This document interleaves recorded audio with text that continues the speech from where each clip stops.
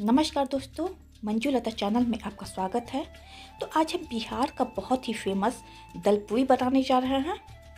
तो ये बिहार में बहुत ही फ़ेमस है। पर्व त्योहार में तो इसे बनाना ही बनाना है और शादी ब्याह में भी ये बनाया जाता है। जो बिहार से होंगे उनको पता होगा।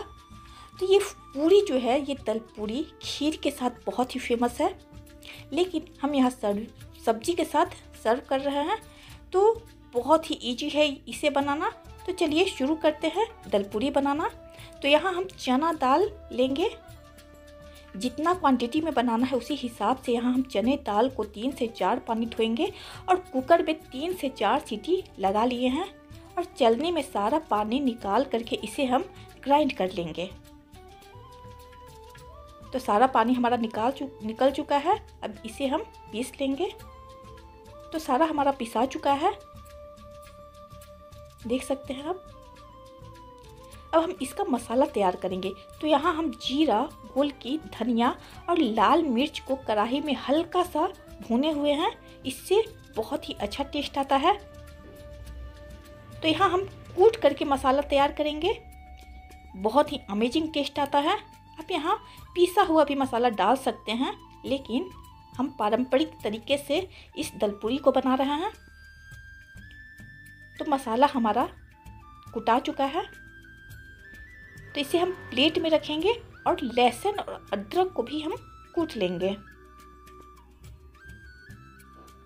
जो लहसुन अदरक नहीं खाते हैं, वो यहाँ पे न डालें। एक्चुअली पर्व त्योहार में लहसुन अदरक नहीं डलाता है। अब हम दाल में, पीसे हुए दाल में तैयार किए हुए मसाले को डालेंगे और लहसुन और अदरक वाले पेस्ट को भी डालेंगे। यहाँ हम चाट मसाला डाल रहे हैं, चटपटा बनाने के लिए और काला नमक। पर्व त्योहार में ये सब बिल्कुल भी नहीं पड़ता है। फिर भी बहुत ही टेस्टी बनता है। अब सभी को हमें हाथों की सहायता से अच्छे से मिक्स कर लेना है। अब हम आटा गूँथेंगे तो आटे में हम मोयन के लिए यहाँ घी डाल रहे हैं। आप यहाँ तेल डाल करके भी कर सकते हैं। तो मोयन डाल के अच्छे से आटे को मसलना है।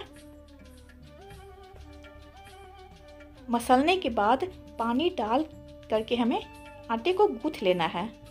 यहाँ बहुत कड़ा आटा नहीं गूँथना है।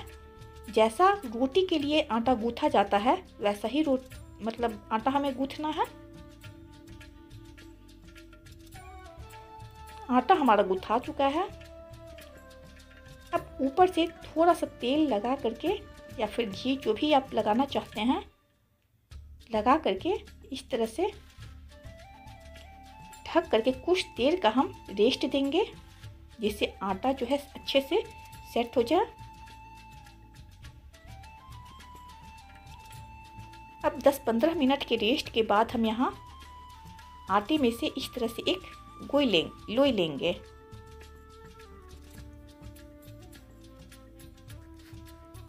इसे हमें शेप देना है।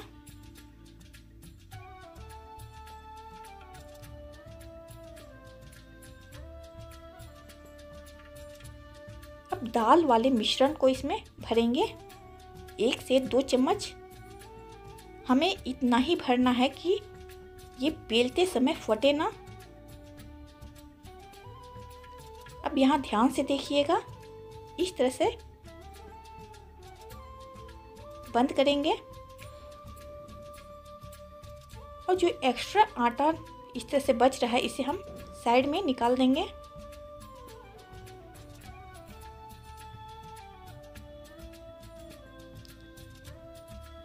अब हल्के हाथों से इसे हमें बेल लेना है।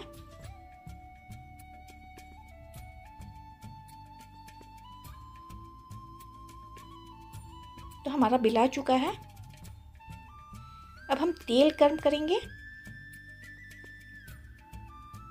और इसमें पूरी को डालेंगे। फ्लेम यहाँ मीडियम टू हाई रहेगा।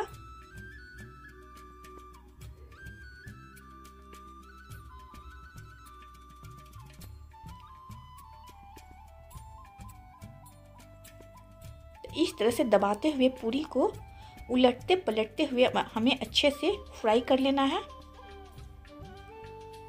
तो आप देख सकते हैं, गुब्बारे की तरह ये पूरी फूला है। इसी तरह से हम सभी पूरियों को तल लेंगे।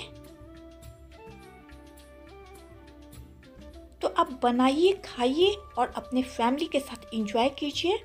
फिर मिलते हैं अगले वीडियो में।